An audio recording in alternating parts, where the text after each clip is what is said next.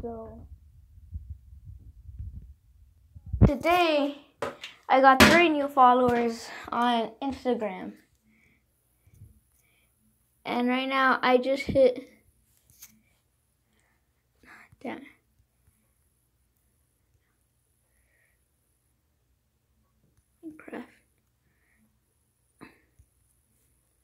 And I just hit like a hundred followers today.